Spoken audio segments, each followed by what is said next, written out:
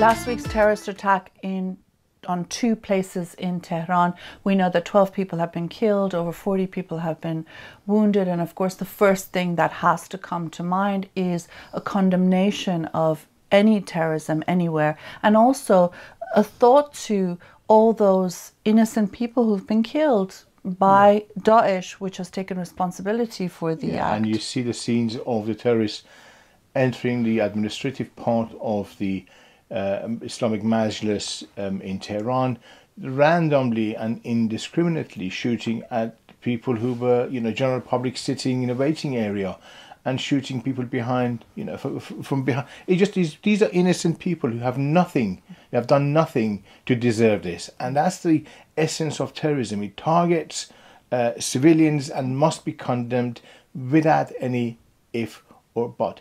There's a lot of other issues that needs to be unpicked. Mm. But the first thing we've got to do, without any excuses, they need to be condemned.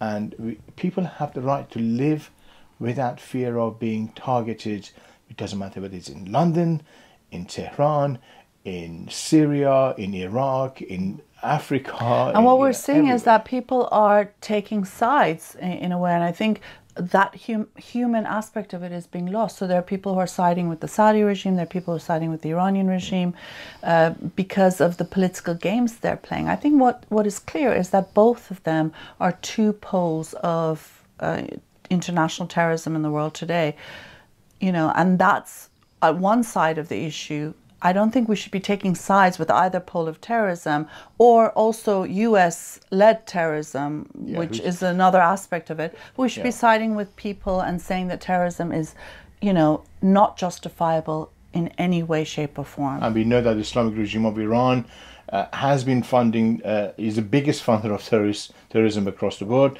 So is Saudi Arabia and Qatar. Now they had infight, there's infighting between Qatar and, and Saudi Arabia. All of them are funders of terrorism. That's the only way that they can advance their interest by unleashing indiscriminate terror on the civilians. And uh, what the world has to say, this needs to stop. They have no people have the right to live free of daily attack by these are states. Effectively, these are arms of the states operating in the you know in different parts of the world. And when people try to justify it or excuse this, that's at the higher echelon of government. At the mean, hi- higher echelon of government, we'll see that the representative uh, of the United States, who uh, is um, you know in in the uh, session in the Congress, is talking about is that better for people to uh, kill each other? For the U.S. to let ISIS kill the Islamic uh, you know people in Iran and vice versa because they're enemies of the United States, which is really a despicable way of looking at it. And in a sense, it's, it rings uh, the same as uh, Socialist Workers' Party, for example, saying, well, you know, after 7, uh, 9-11 in the US, it's chickens coming home to roost. So this constant justification and legitimization of acts of terror, depending on where you stand. And I think one of the things the terrorists do is that they dehumanize those they attack, which is why they're able to kill people indiscriminately without any feeling of remorse.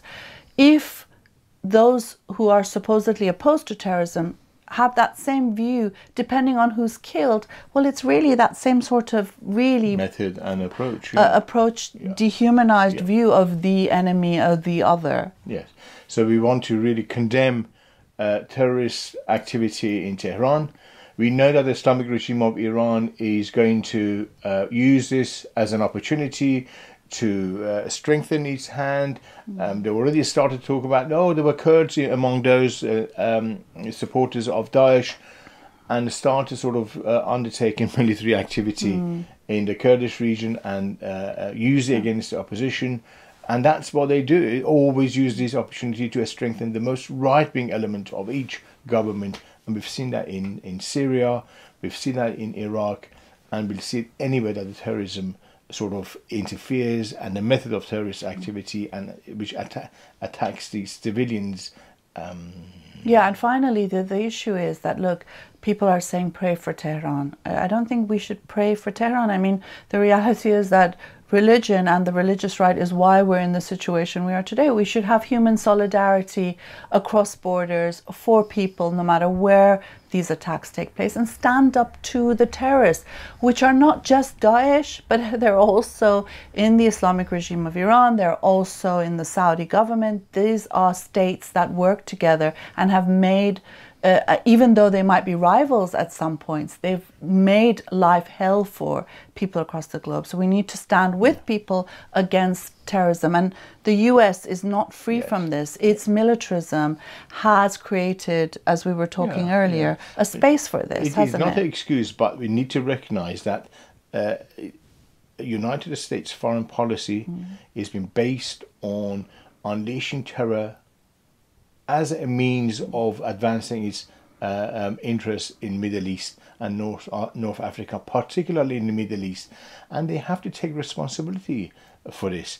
It's not a justification for terror, but it's a, a, a, some sort of explanation, and we need to consider that you know United States has uh, been party to creating an environment for the right wing to thrive. And in, it, and it still supports a lot of Islamist groups uh, in, in its uh, promotion of its foreign policy. Islamism came to center stage because of its foreign policy uh, demands during the Cold War. So you know. To say that terrorists kill innocent people because they're upset about U.S. foreign policy is not acceptable, uh, because as we, we, we know, terrorists kill people all over the world and more so in the Middle East and North Africa.